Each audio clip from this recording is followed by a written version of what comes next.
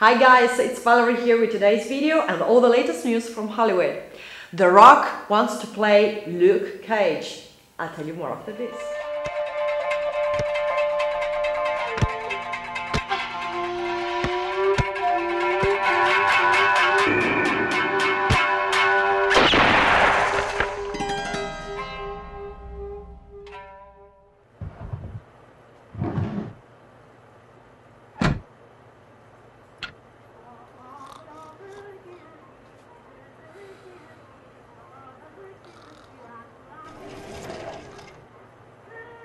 っしゃい今日は早いじゃないの。よ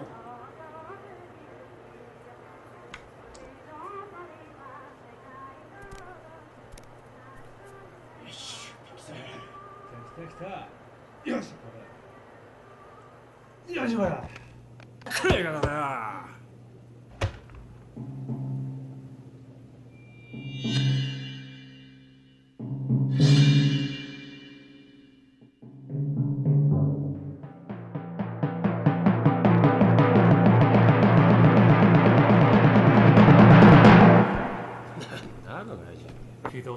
取った格好しやがってよ。あんな外人兄貴ならひとひねりっすよね余裕だよ。ほらまた当たったじゃん。あちくしゃ入ったらこれでよくんやばいっすよ。見せびらかしてんじゃねえぞこの外人。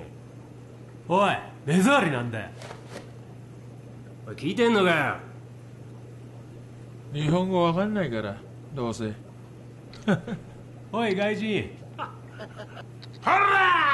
外にだ！あいつに聞い取られちゃったからな。おかげで。儲かってますね。ねえ。ほい。ほい。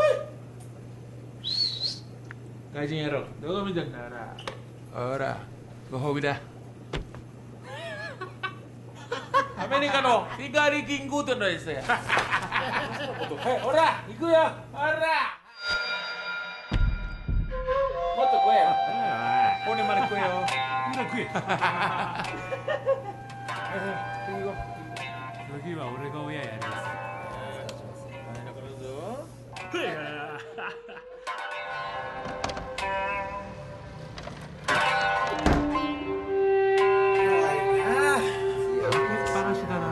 なくなるぞ見てみこの中に入ってんじゃん。次は負けないですからね。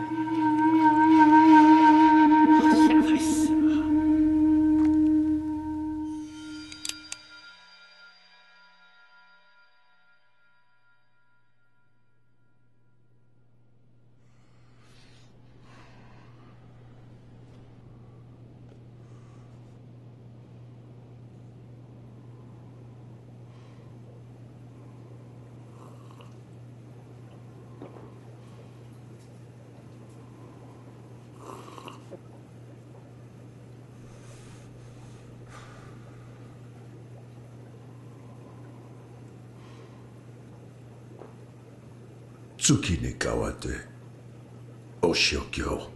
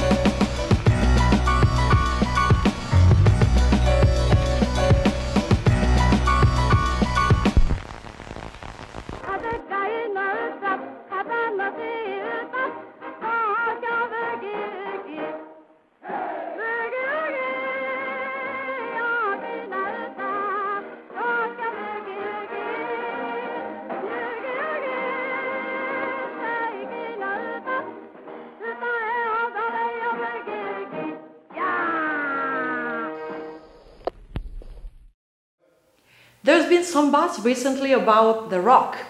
also known as Dwayne Johnson, assuming the coveted role of Luke Cage in one of Marvel's upcoming film projects. In a recent interview with Collider, Marvel boss Kevin Feige was asked whether or not he'd considered casting Johnson in the Marvel Universe, to which he replied, I would love him to be part of the Marvel Universe somewhere, someday. The Rock responded by tweeting that he's ready for the role. So, what do you think of The Rock maybe playing Luke Cage at some point? Let us know what you think in the comments. That's all for today. Subscribe to Film Is Now to keep updated on all the latest trailers and news from Hollywood. See you next time.